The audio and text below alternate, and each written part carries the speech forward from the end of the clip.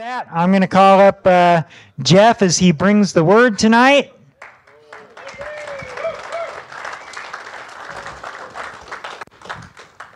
There, let me let me move my stuff first, then you can, and I'll take that too.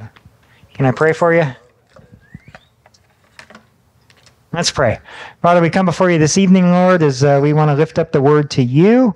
God, uh, we pray that uh, the words that you've uh, spoken to my brother Jeff, Lord, that you would help him to uh, repeat them, Lord, not word for word, because that's not how your word works, but through the inspiration of the Holy Spirit, would you use his personality? Um, would you lo- use his history? And would you use his life in this moment to speak into our lives, Lord? Uh, we thank you in advance for what you're going to do in and through Jeff. In Jesus' name, amen. Amen. Thank you.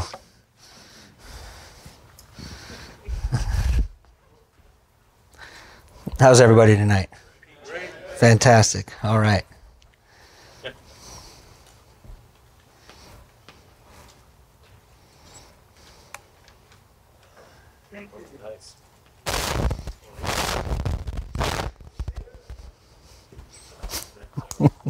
All right, guys. Title tonight's message is Don't Fail the Test. We're going to be in Jude 12 to 19. Um, but before we get started, let's just go ahead and bow our heads and pray. Gracious Father, Lord, uh, I just come before you now, Father, and I just pray for myself and for these men here, Lord, that we would use this time tonight. We would use it wisely, that we would use it to grow in our faith, and our knowledge, and our trust in you, Father. I pray that you would just pour into everyone here tonight and strengthen them in their walk, Lord. In Jesus' name, amen. amen. All right, so again, we're going to be in the book of Jude tonight. Um, and before I start out in the verses that are from our study, I kind of want to quickly go into, again, just why Jude wrote this epistle. Um, he's incredibly concerned about the threat of heretical teachers, uh, and he condemns the practice of the ungodly and counsels us to contend for the faith. So, with the exception of the first two and the last two verses of this letter, uh, the entire epistle revolves around the problem of false teachers. Have A quick outline here of the uh, the book of Jude. Uh, purpose of Jude is in verses one to four. Description of false teachers five to sixteen. The defense against false teachers seventeen to twenty three, and then doxology doxology twenty four to twenty five. So right, we're we're kind of in between two and three there tonight. Um, and this outline could be broken down a lot more, but it's pretty basic, just a little bit to help us with uh, with our study. But let's go ahead and get started. I want to read verse three. Beloved, although I was very eager to write to you about our common salvation, I found it necessary to write appealing to you to contend for the faith that was once for all delivered to the saints. So Jude is concerned because the faith, the Christian message of the gospel, is under attack from false teachers who are spreading dangerous heresies. So Jude urges his readers to contend for the faith against those who seek to undermine and erode it. Right, the Greek word for Jude he chooses here is translated to contend earnestly. Usually describes an athlete striving with extreme intensity to win the victory of a physical competition. The Amplified uh, Bible translated as uh, to fight strenuously for the defense of the faith. So, this is what Jude is after. He aims at enlivening the church to an immediate and intense struggle, a very real fight requiring, requiring all of our energy. And uh, in verse 4, says here, for certain people have crept in unnoticed. How long ago, or who long ago were designated for this condemnation? Ungodly people who pervert the grace of our God into sensuality and deny our only Master and Lord, Jesus Christ. So he starts out by saying, For certain people have crept in unnoticed. You can hear the contempt for them in his words. The, the certain people here in verse 4 later become these people in 8 and 10, and simply just these in 12, 16, and 19. So Jude's call to contend for the faith stems from his assessment of these people, about whom he abs- has absolutely nothing good to say about. So we look at these descriptive phases, right, which he describes in verse 4. Designated for this condemnation, ungodly people. They pervert the grace of God into sensuality. Right? So we are contending for the faith. We're contending against the apostates, the false teachers, the ungodly. The false teachers in their sanctioning of immoral behavior, they pervert the grace of God into a license for immorality. And their rejection of the deity of Christ, that they deny Jesus Christ, our only sovereign and Lord. So now that we're reminded of the why of Jude, right? Contend for the faith. Let's look at the who. Who are these people? In the verses tonight, Jude is very poetic, right? He paints vivid pictures of the people he's describing. I'll go ahead and read these verses, uh, all of them, and then we'll go back and start at verse 12.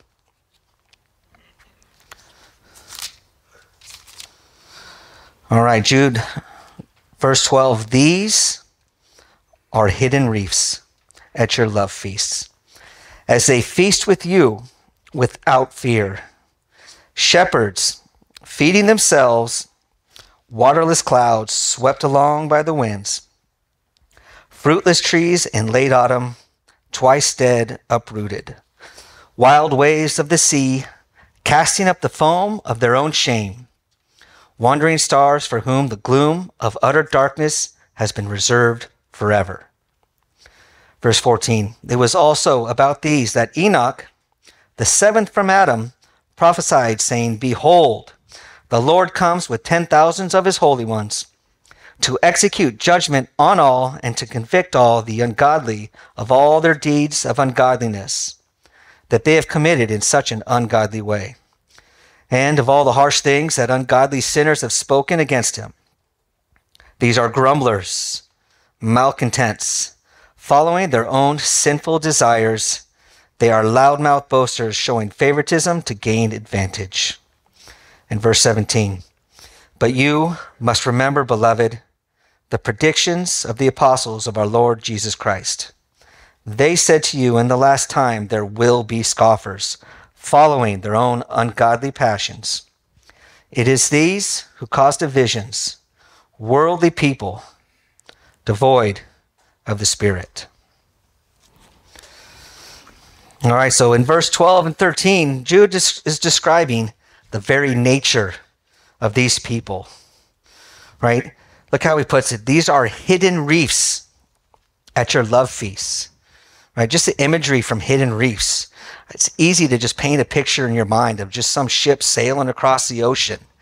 Right? The precious cargo that is your faith is aboard. It's dark, you can't see anything and then you just hear this ripping and crashing, right? As wood's just being ripped apart, right? It's undone by these hidden reefs. And the expression love feast, which actually only occurs one time uh, in this verse here, verse 12, the love feast was likely held to create fellowship among the diverse members of the church by encouraging them to share with and care for one another, especially in terms of wealthy Christian charity towards others, like the poor, the widows, the needy, and the hungry. Right? It was a clear expression of a church's concern for the physical needs of the poor. So he goes on to say, as they feast with you without fear, shepherds feeding themselves. They have no fear of being caught, of being found out, right? They look just like you and me. They look the part of a Christian. They sound like a Christian, right? They sit in church every Sunday, uh, all the while denying our Lord Jesus Christ. They, they're eager to fill their bellies from the church pantries, uh, but they're unwilling to fulfill their obligations to the people of the church. They care nothing about others, only themselves. Jude says they are shepherds feeding themselves. This description is very similar to Ezekiel chapter 34, verses 1 to 10. Let's go there.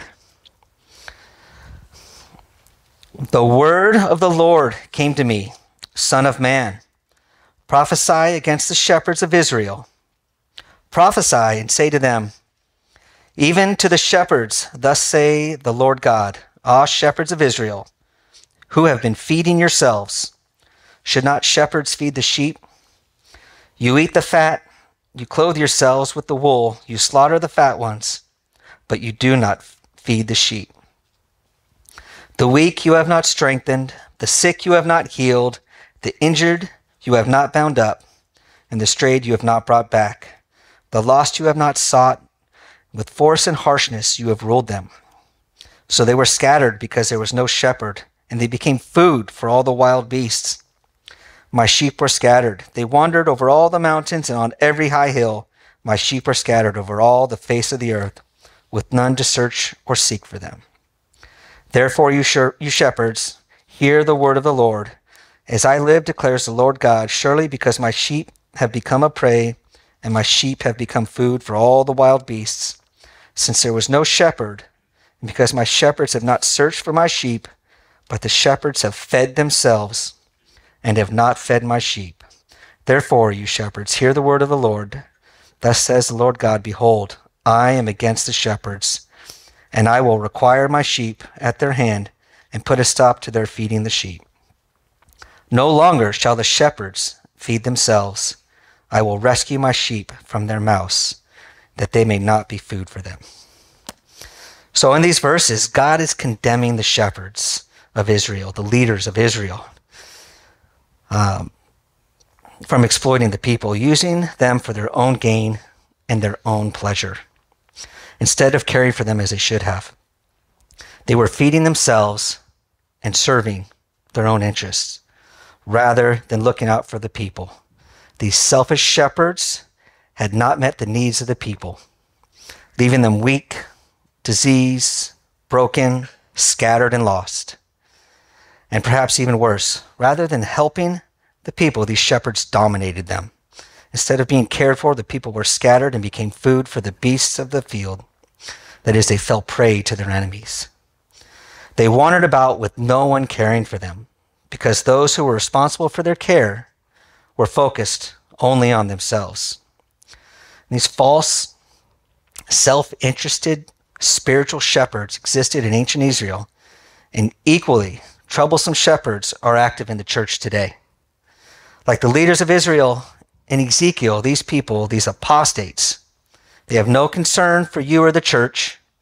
They corrupt everything they can corrupt, and they only care for themselves, shepherding nobody but themselves, making sure they get what they want with no concern for anybody else, living and desiring only to gratify their own sensual lusts. Jesus also spoke about these false prophets in John 10, 12, and 13, where he says, He who is a hired hand and not a shepherd who does not own the sheep sees the wolf coming and leaves the sheep and flees. And the wolf snatches them and scatters them. Verse 13, he flees because he is a hired hand and cares nothing for the sheep. And also in verse 12, Jude goes on to describe them as waterless clouds. Empty clouds without water, they are empty of holiness, they are empty of godliness. Now, when I first started studying these, these verses here, I thought about my life and I tried to think of, well, when does this ever happen in my life? And the only thing that ever really came up, or at least the first thing that came up, was from when I was like six years old. I was in T-ball. I played for a team called the Baltimore Orioles, or at least the Orioles. I don't even remember. But I had a pennant for the Orioles on my wall, and some neighbor's older brother, stepbrother that didn't really live there decided he liked it and wanted to trade for it. So I said, well, yeah, I'll trade for it. And I wanted some outrageous stuff like a full uniform, a hat, balls, everything. And he said, yeah, I'll give that to you. Absolutely. So he takes a pennant and I got nothing. Right? He promised me all these things that I wanted and I got nothing. Right? That's these waterless clouds. They promise things and they, they give you nothing. Right? These false teachers, they're like these waterless clouds. They talk a good talk, but there's nothing to show for it. They promise spiritual refreshment, but none ever comes. They make a show of their knowledge and their gifts, but no one benefits. When people set their expectation on waterless clouds, they will continue in their dry and parched condition. Right? When they drink the water offered by the false teachers, they will be thirsty again. That's John 4:13. And only Jesus can provide the thirst-quenching, soul-satisfying water unto eternal life. John 4:14. Only he provides the showers of blessings we need. Um, and the ancient word of the wise applies to them. Proverbs 25:14 says, "Like clouds and wind without rain is one who boasts of gifts never given." And his next description uh, is my favorite. It's fruitless trees in late autumn, twice dead, uprooted. Or you can't get any more fruitless than that. You can't get any more dead than that. So, how do we spot these false teachers? We look at the fruit they produce or fail to produce. We look at the clouds and the rain they promise to bring or fail to bring. It tells us everything we need to know about them. Jude describes here something that should produce for the benefit of others. The trees should be bearing fruit, but they're fruitless. They're dead. They're double dead, right? They're uprooted. Because they're not connected to the ground, there's no life coming into them. And because there's no life coming into them, there's no life coming out of them. Right? There is no fruit because they are uprooted. Um, and when I read this one, it also reminded me of uh, some scripture here. Uh, Psalm 1, the first four verses, were just the exact opposite of what's being described here. Where it says, Blessed is the man who walks not in the counsel of the wicked, nor stands in the way of sinners, nor sits in the seat of scoffers. But his delight is in the law of the Lord, and on his law he meditates day and night. He is like a tree planted by streams of water that yields its fruit in season, and its leaf does not wither, and all that he does, he prospers. The wicked are not so but are like chaff that the wind drives away. Right? So the image of a flourishing tree is a rich image to describe a believer's life. The wicked are not so. So those are just the descriptions of verse 12. And I don't really have time to do verse 13, so we're going to move on to 14 and 15. Right? So in verse 14 it says, It was also about these that Enoch, the seventh from Adam, prophesied, saying, Behold, the Lord comes with ten thousands of his holy ones to execute judgment on all and to convict all, the ungodly of all their deeds of ungodliness that they have committed in such an ungodly way, and of all the harsh things that ungodly sinners have spoken against him.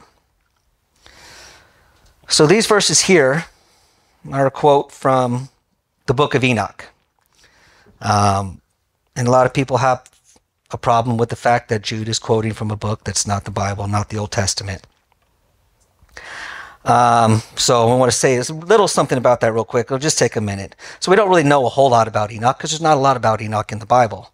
Most of what we get is from Genesis chapter 5, verses 21 to 24, where it says, Enoch walked with God after he fathered Methuselah 300 years, had other sons and daughters, Thus, all the days of Enoch were 365. Enoch walked with God, and he was not, for God took him. So, while very little is written about him, what is is pretty spectacular. We know that he walked with God, right? So, Jude was quoting from a prophecy in the book of Enoch, specifically 1 Enoch 1 9. Now, the fact that Jude quoted from Enoch does not imply that Enoch's teachings are inspired and should have been in the Bible or in Scripture. Lots of people seem to have a problem with this, like I said, but other authors of the Bible, they did the same thing. For example, Paul quoted some non, and I'm going to get this word wrong, uh, non canonical statements that he considered to be true. There you go. In Acts 17 28, uh, he quoted Aratus and Cleanthes. And in 1 Corinthians, he quoted uh, Menander. Also in Titus, Paul quoted from a Cretan poet and philosopher where he says, One of the Cretans, a prophet of their own, said Cretans are always liars, evil beasts, and lazy gluttons. Right? So it's not outside of the realm that other people have quoted. I mean, pastors quote from other books that aren't in the Bible on a regular basis. And it's done to prove a point, it's done to, to show the truth that is in the Bible. So Jude believed these quotations to be true, but not the entire book, and he used it to show the certainty of the false teacher's doom. Uh, but let's get back to verses 14 and 15. All right, so the ungodly, they're convicted, and they're convicted of two things. First, they are convicted of their deeds of ungodliness. Jude further describes these deeds as being committed in such an ungodly way, their works are completely saturated in ungodliness, from their origin through their execution to their outcome. Second, they are convicted of all the harsh things the ungodly sinners have spoken against him. Special focus is now given to the words of the ungodly, which they use to blaspheme God and his ways. This last expression is especially relevant for these false teachers. Jude was confronting who blaspheme all they do not understand. Now, as if all of this that I've said before isn't enough, all the things Jude has listed here, he continues in verse 16. He says, These are grumblers, malcontents, following their own sinful desires. They are loudmouth boasters, showing favoritism to gain advantage. Right? Grumblers and malcontents, right? Just following their own sinful desires. I want to stop and ask a question. Like you've heard all of these things. How do we know if somebody is an apostate? Right? They're not wearing signs admitting it. They don't wear shirts that say apostate right? But uh, how do we know? I mean, just in this in this letter alone, right? Jude describes apostates as ungodly, and as of those who use God's grace as a license to commit unrighteous acts. Right, beginning with ungodly, Jude lists 18 things that are unsavory traits about these, unflattering traits about these apostates. Right? In verse 4 there, number one, he says they're ungodly. They're morally perverted. They deny Christ, defile the flesh. They're rebellious. They revile angels, ignorant about God. They have false visions. They're self destructive. Grumblers, malcontents, self satisfying. They use arrogant words and false flattery. They are mockers of God. They cause division. They are worldly minded devoid of spirit, unsaved. So I look at this list, man. This is a huge list. It should be easy to tell an apostate. Like they should be walking around like their neon signs just flashing, right? Ungodly. Look at me, I'm ungodly, right? But it's not easy, right? They creep in unnoticed. They look like Christians, they talk like Christians. So, what do we do with this information? right? How do we take this knowledge with these characteristics of these people? How do we spot them? Right? How do we recognize these hidden reefs who are creep, creeping in, hoping to shipwreck our faith? Well, I want to leave you with two applications on, on how we can do that. You want to test them, and you want to test yourself. Right? And what do I mean when I say test them? And I'm talking about leaders and teachers, right? You can't just trust somebody because they're standing behind a pulpit, right? You can't trust somebody just because they have 1 million followers on social media. You can't trust somebody because they lead a church that's got 10,000 people that attend. Right? Paul the apostle, he congratulated the Bereans because they received what he said with readiness of mind but they searched the scriptures daily to see if these things were so. You've got to test them, right? We need, and how do we test them? Well, there's a couple ways that I'll mention tonight, but there's more. but we look at their character, right? We know their characteristics, but we have to look at their character. Do they have the fruit of the Spirit? Can you look at their lives and see love, joy, peace, long suffering, kindness, gentleness? Right? How else can we spot them? Well, we can listen to them. What are they saying? What are they teaching? What are they preaching? Right? Do they teach about the core biblical doctrines of faith? Right? Do they teach about holiness? Do they teach about the narrow road? Or are their messages just more like pep rallies? Are they more interested in tickling your ears than in telling you the truth? You've got to test them. We have got to stay in the Word, right? We can't be fooled by sheep costumes, man. We need to test them. We need to test what they say. We need to test what they do. And we need to find out if it lines up with the Word of God, right? And we need to test ourselves, right? Are you saved? Am I saved? Right? This is a question we should be asking ourselves. It is the most important issue in all of life. Nothing else in our lives matters more than that. Whether or not you have a nice house, a nice car, a good job, money in the bank, they matter nothing in comparison. When you're dead, the only thing that matters is are you spending eternity with God or without Him? So we need to test ourselves. And I'm not saying question your faith, but ask yourself is your love towards Jesus genuine? When you look up at this list here, right, does your life, life reflect this? Or does it reflect the fruit of the Spirit? Right, verse 18 says, In the last time there will be scoffers following their ungodly passions. What we want isn't always good what we want isn't always godly. What we want to do isn't always what God wants us to do. Right? We need to test ourselves. Right? Takeaway tonight. Apostates, false teachers, they claim to know God, but they live as though God doesn't even exist. This is how they blaspheme God. Make sure this isn't you. Test yourself.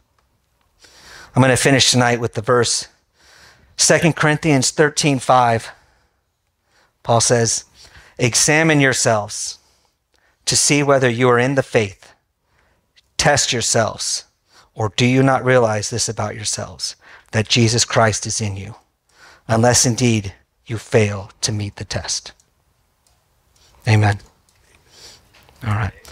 Heavenly Father, God, we, uh, I just thank you again for this time tonight to just dig into your word, Lord. And I pray that uh, you would open our hearts to hear from you as we break up into groups, Lord. Help the men to just speak boldly and courageously about you. In Jesus' name, amen.